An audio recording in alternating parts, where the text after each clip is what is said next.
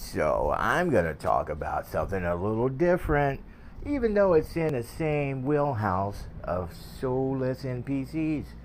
I'm going to talk about a true crime story about Roger Ebert, who I suspect murdered a babysitter. Which sounds insane, but it's not.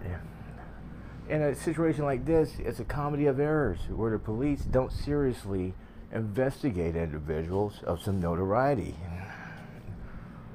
And it also is related to Hollywood PEDOs.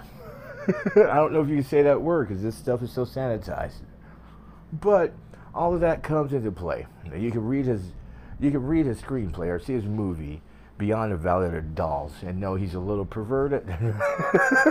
you can also read what he said about women, like what, how, he, how what his views on women are. So, in 1981, a Canadian babysitter was slain. Her name was Kelly Cook.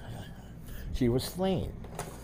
At the time, it was a creep calling a lot of babysitters and I suspect it was Roger Ebert. He wouldn't give his name. He was very nervous about giving his name. He was picking up classified ads, calling babysitters, offering them money to have relations. So, I suspect he picked up Kelly, which is why he didn't want anyone to know his name. He's a narcissist. Even though he wasn't that famous at the time, he would still think someone would know his name. That's why he's given a fake name when he calls he picks up Kelly and offers money for relations. And then she takes it, but then afterwards she starts crying and he's worried about her getting in trouble. You know, he's got big things coming up. That TV show where he gives the two thumbs up and two thumbs down is right around the corner. You don't want that ruined. So he justifies taking her life.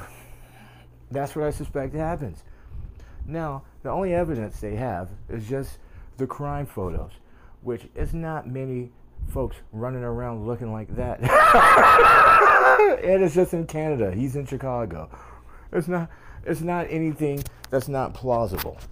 But this is kind of what they mean by like Hollywood Hollywood abusers and, and predators. And and it's a real thing. It's not as extensive as some of these folks say. These are folks who think that 5G caused COVID. A lot of them, or, but it is some truth to that. And this is one of those stories that flies under the radar that kind of proves it. Think about it.